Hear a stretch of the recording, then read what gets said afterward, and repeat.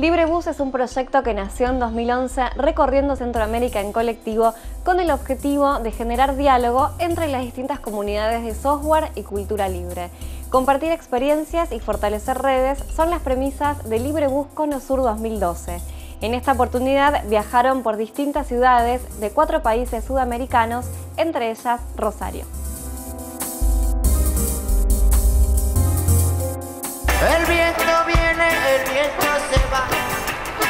La frontera. El viento viene, el viento se va oh, por la carretera. Por la carretera. LibreBus es un proyecto que nació en el 2011 en Centroamérica. Se hizo por Guatemala, El Salvador, Honduras y Nicaragua y básicamente eh, la idea fue replicarlo ahora en este 2012 en el Cono Sur, incluyendo Argentina, Chile, Uruguay y Paraguay. La ruta la trazamos eh, eh, a través de los equipos locales. O sea, si bien es cierto que es, bueno, la organización chilena es un poco la que gestiona los fondos, ellos lo que hicieron fue tener como patas en cada país. Yo creo que la experiencia va a servir también para ir uniendo un montón de gente porque ha servido también como sea, la llegada del bus a alguna ciudad ha servido para que la gente que estaba trabajando en esa ciudad sobre esas cosas se, conociera. Es, un poco extraño decirlo así, pero se conocieran y empezaran a, plantear proyectos a futuro. Y del proyecto este nos sirvió, digamos, para darnos cuenta de que, bueno, de que todos más o menos venimos trabajando juntos.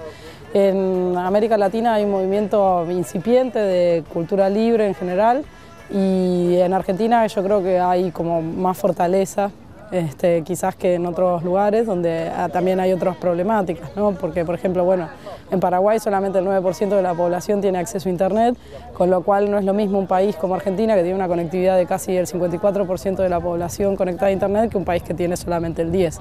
Entonces también, digamos, eh, este, el trabajo de estas organizaciones contribuye mucho a visibilizar la problemática de que tenemos en este momento con temas de las leyes de propiedad intelectual, por ejemplo.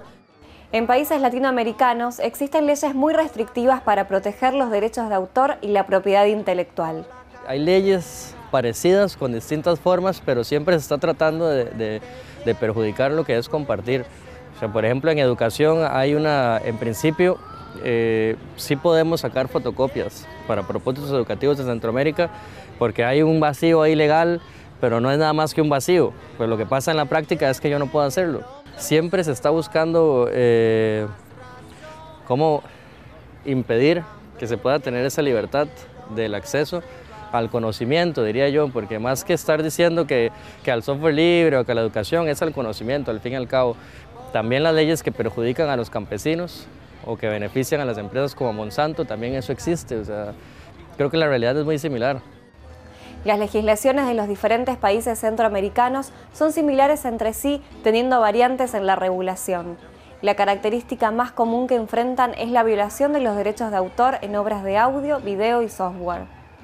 Existe una persecución casi eh, moral y también eh, policial, como, o sea, legislativa respecto a este tipo de cosas. Y de todas las experiencias que hemos tenido aquí, yo me ha tocado hablar un par de veces y ahí cuento un caso muy especial de un chico que estuvo preso en una cárcel en Chile, que se quemó y que estuvo preso por, estar, por vender películas piratas y discos piratas en la calle. Entonces mi pregunta cuando, cuando cuento esta historia es siempre eh, qué responsabilidad teníamos nosotros de que esa persona estuviera en la cárcel por un delito como ese. ¿Es necesario, o sea, es, es, es un delito o es una multa que debería cubrirse a la persona? Ese momento hizo que nosotros también tuviéramos en el sello y yo como persona una actitud mucho más proactiva respecto a las licencias libres, al defenderlas, como, como abrazarlas también como una responsabilidad social que nosotros tenemos como productores de contenido.